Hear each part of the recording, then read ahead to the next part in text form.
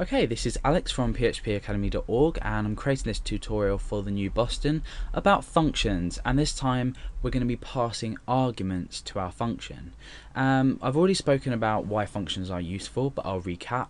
Functions are useful in code to shorten the amount of code you do have to write and you can refer back to these functions which is called calling a function and it will process the same code every time you call um, and we set up a function like this. We have function, we have the name of the function, we have a block of code, uh, and the code goes in here, and we call the function simply by calling the function name. So this is the standard syntax that you would expect to find in a function. Now, what if I want to create a function that's going to add two numbers together? Now, this is a sort of real life example of why you might use a function.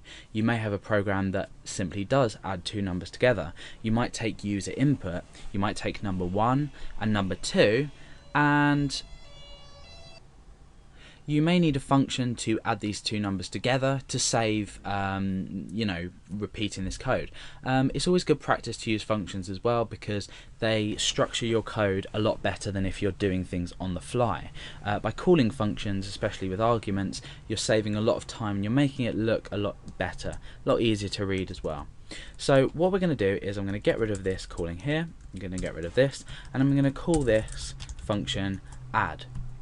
Now, inside this function, I need to specify which arguments I want to bring into the function to be able to use, and these are in the in the in the uh, form of variables. So I want number one, comma, number two. So I'm feeding in two different numbers. Now I haven't specified the um, the variable type. I haven't specified if these are numbers or string. It doesn't actually matter. That depends on how you deal with everything uh, inside your function here. So my function is going to add two numbers together. Now what I want to do is I want to echo out this particular result. So I want to echo number one. Now this is in reference to this. So the argument up here must match when you reference them inside your function.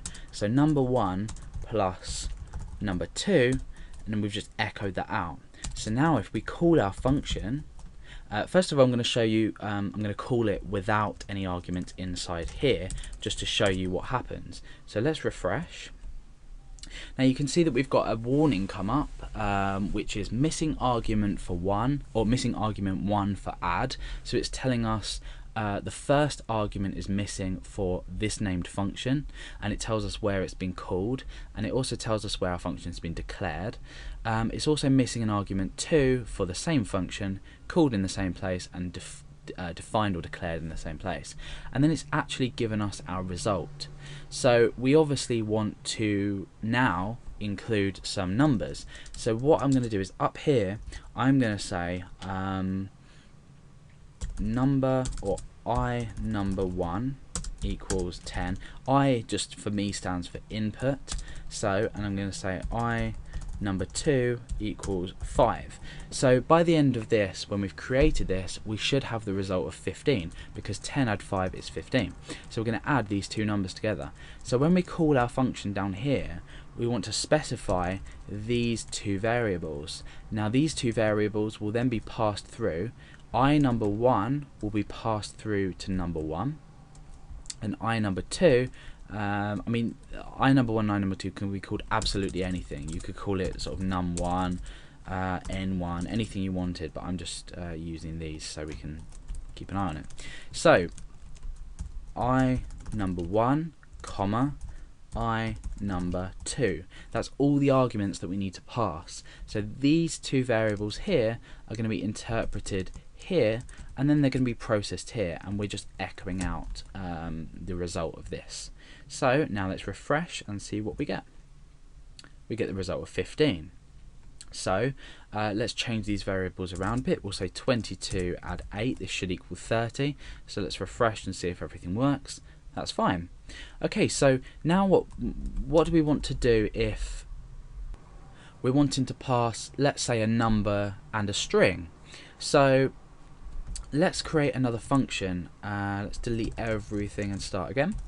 I'm going to create a new function called display date. Okay, and what's this? What this is going to do is it's going to feed in the day, the date, and the year. Okay, so the first thing we want to do is echo day, and we want to append a space. Then we want to append date, append another space, and append year. Um, so obviously our day here is going to be in string format because it will be either Monday, Tuesday, Wednesday, all the way up to Sunday.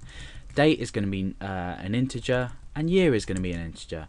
So what do we need to do to be able to say, well, we need to read in a, a string and we need to read in two integers? Well, the answer is we need to do absolutely nothing.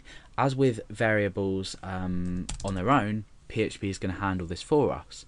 So now I'm going to call the function display date. I'm going to type in Monday